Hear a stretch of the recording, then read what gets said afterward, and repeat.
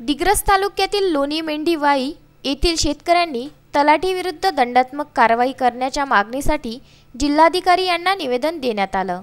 अवकाळी पावसामुळं येथील शेतकऱ्यांचं मोठ्या प्रमाणावर ऊसाचं तसेच अन्य पिकांचं मोठ्या प्रमाणावर नुकसान झालं असून शेतकरी त्रस्त झाला आहे. लोणी येथील कार्यालयात तलाठी यांनी नुकसानीच्या याद्या तयार केल्या परंतु या यादीमधून ऊस उत्पादक शेतकऱ्यांना पूर्णतः वगळले असून त्यांना शासकीय लाभापासून वंचित ठेवलं.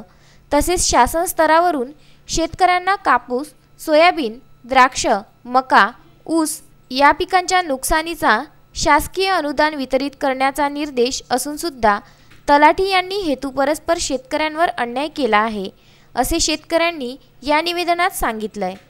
तसेच जिल्हाधिकारी साहेबांचे कोणतेही आदेश नाही शासकीय खजान्यातून पाच कोटी रुपये आलेले संपून गेले आता अजिबात पैसे शिल्लक नाही व तुम्हालासुद्धा मिळत नाही असेच सतत येऊन आम्हा शेतकरी बांधवांची थट्टा करतात व ठासून सांगतात त्यामुळे आम्ही शेतकरी नैराश्याच्या पायरीवर थकून दमलोय.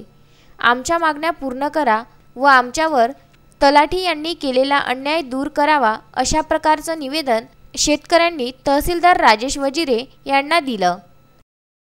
अनेक पिकाचं नुकसान झालं. त्या नुकसान भरपाईपोटी जे काही शेतामध्ये पिकं सोयाबीन असो कापूस असो तूर असो इतर पिकांना मदत मिळाली शासकीय मदत मिळाली.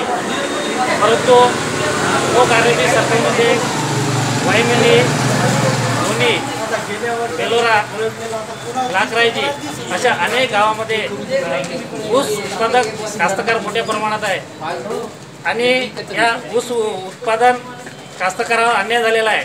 त्या ठिकाणी जे काही शासकीय मदत होती परतीच्या पावसानं जे काही फार मोठं नुकसान झालं त्या ऊसाला कीड लागली धागे पडले किंवा त्या ऊसाची वाढ नाही झाली आणि ऊसाचं फार मोठं नुकसान झाल्यामुळं या तीन ते चार गावामध्ये पुन्हा सर्वेक्षण सर्वे हो योग्य ते शासन शासनाच्या ठरल्याप्रमाणे त्यांना मोबदला मिळावा असे अशा प्रकारचं निवेदन या सगळ्याच्या वतीनं शासनाकडे पाठवण्यात आलेलं आहे. ज्ञानराज ढोरे विदर्भ न्यूज यवतमाळ.